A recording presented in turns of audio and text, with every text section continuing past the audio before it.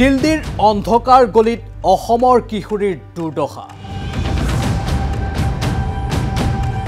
নমস্কাৰ এই বিশেষ সম্প্ৰচাৰৰ মাজলৈ আপোনালোকক স্বাগতম মই প্ৰাঞ্চল।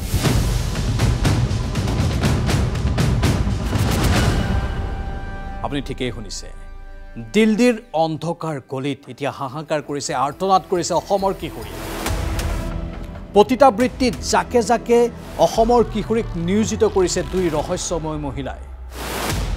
কাম দিয়াৰ প্ৰলোভনেৰে দিল্লী আৰু হাৰিয়ানালৈ জাকে জাকে অসমৰ পৰা কিশোৰী লৈ গৈছে এই দুয়োগৰাকী মহিলাই। কিন্তু এগৰাকী ধৰ্ষণৰ সমগ্ৰ প্ৰক্ৰিয়াত সাঙুৰ খাই পৰা কিশোৰী আৰক্ষীৰ কাষ চপাৰ পাছতেই এই সমগ্ৰ ঘটনা পোহৰলৈ আহিছে।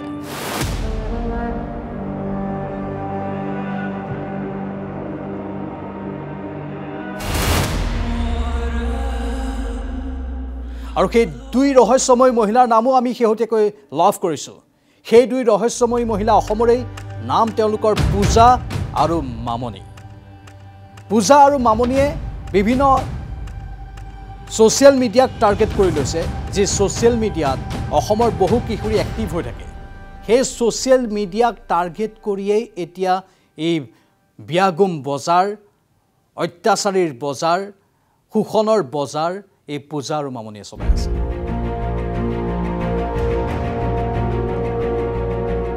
ইনষ্টাগ্ৰামত এগৰাকী কিশোৰীৰ সৈতে চিনাকি হৈছিলে এই পূজা মামনি তাৰপিছত ইনষ্টাগ্ৰামত চিনাকি হোৱাৰ পাছত পূজা আৰু মামনিয়ে প্ৰতিশ্ৰুতি দিছিল কিশোৰীগৰাকীক এগৰাকী নিৰ্দিষ্ট কিশোৰী যে হাৰিয়ানা আৰু দিল্লীত কাম দিব তেওঁলোকে হাৰিয়ানা আৰু দিল্লীত কাম দিয়াৰ প্ৰলোভন দিয়া হৈছিল তাৰপিছত কিশোৰীগৰাকীয়ে নিৰ্বাচন কৰিছিল দিল্লী হাৰিয়ানাত নাযাওঁ মই দিল্লীতহে যাব বিচাৰোঁ তেতিয়া পূজা আৰু মামনি নামৰ সেই ৰহস্যময়ী মহিলা দুগৰাকীয়ে ক'লে যে ঠিক আছে আমি দিল্লীলৈ লৈ যাম তাত ভাল কাম দিম ভাল খোৱা বোৱা পাব ভাল থকা মেলাৰ ব্যৱস্থা হ'ব আৰু চাকৰিও ভাল হ'ব পৰৱৰ্তী সময়ত প্ৰমোচনৰ ব্যৱস্থা থাকিব।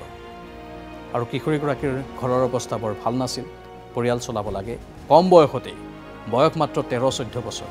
ভাবিছিল যে দিল্লীত গৈ মই ভাল কাম পাম ভাল দৰমহা পাম ভাল টকা পাম আৰু মোৰ ঘৰৰ অৱস্থা সবল হ'ব স্বচ্ছল হ'ব। যি প্ৰতিশ্ৰুতি দিলে সেই প্ৰতিশ্ৰুতি মতেই মাত্ৰ দুদিন পূৰ্বে পূজা আৰু মামনি নামৰ দুগৰাকী ৰহস্যময়ী মহিলাই সেই নিৰ্দিষ্ট কিশোৰীগৰাকীক উৰা জাহাজত লৈ দিল্লী পালেগৈ। আৰু তাৰ পাছতেই আৰম্ভ হ'ল আচল নাটকৰ। যি কথা কিশোৰীগৰাকী কল্পনাও কৰা নাছিল সেয়া হ'ল সেইগৰাকী কিশোৰীৰ সৈতে বাস্তৱত। কিশোৰীগৰাকীক নতুন কাপোৰ পিন্ধালে। কিশোৰীগৰাকী আচৰিত হ'ল মোক নতুন কাপোৰ কিয় পিন্ধাইছে? ক'লে কি নতুন কাম যিহেতু নতুন কাপোৰো পিন্ধিব লাগিব নতুন কাপোৰ পিন্ধালে ধুনীয়া কৰি দিলে অলপ মেকআপ কৰি দিলে। কিন্তু তাৰ পাছত যি হ'ল সেই কথা শুনিলে আপোনাৰ গাৰ নোম সিঁয়ৰি উঠিব।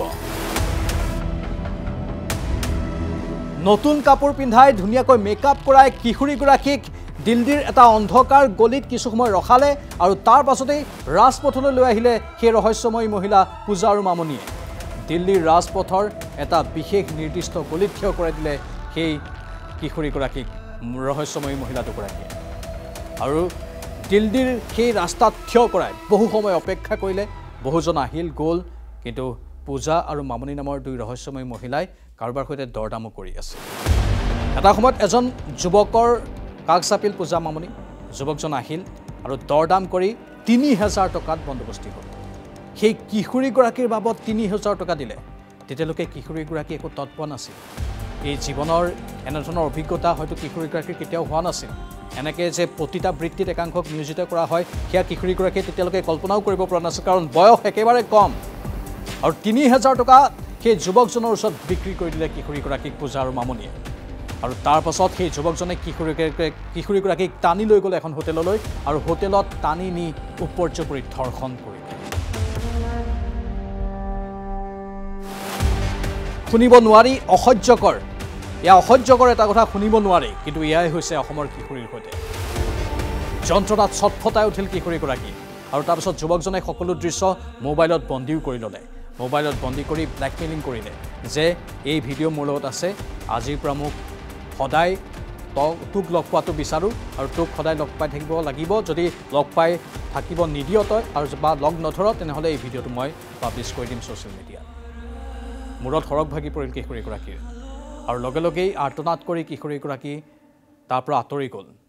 যুৱকজনো আঁতৰি গ'ল। কিন্তু কিশোৰীগৰাকীৰ সাহস সেইখিনিতে আমি প্ৰশংসা কৰিব লাগিব। কাৰণ সেই মোবাইলত ভিডিঅ' ৰেকৰ্ড কৰি থোৱাৰ পাছতো কিশোৰীগৰাকীয়ে ভয় নাখালে। লগে লগেই দিল্লী আৰক্ষীৰ কাষ চাপিল আৰু দিল্লী আৰক্ষীক সমগ্ৰ ঘটনা অৱগত কৰালে আৰু সেই নিৰ্দিষ্ট অন্ধকাৰ গলিটো যিটো গলিত জাক জাক অসমৰ কিশোৰীক ৰখা হৈছে সেইটো দেখুৱাই দিলেহি।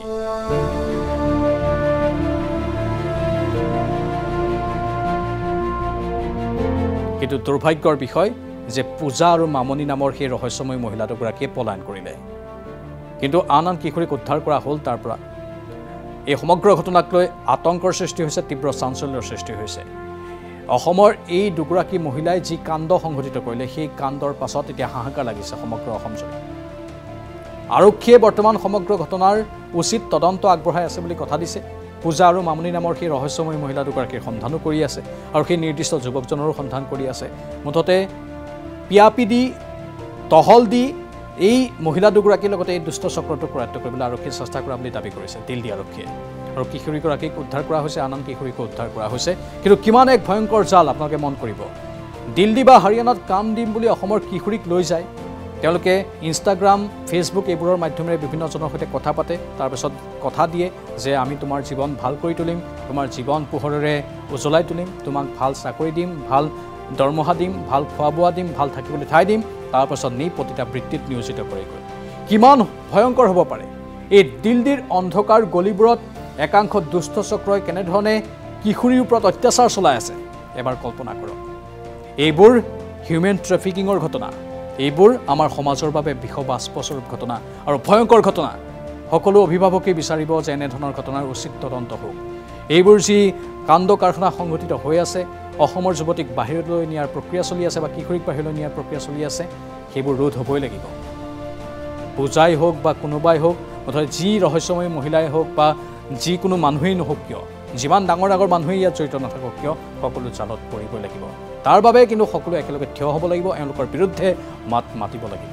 আপোনালোকে কি কয় আমাৰ কমেণ্ট বক্সত কমেণ্ট কৰি জনাওক। নমস্কাৰ জনাইছোঁ আৰু পৰৱৰ্তী সময়ত পুনৰ নতুন ভিডিঅ'ৰ সৈতে লগ পাম।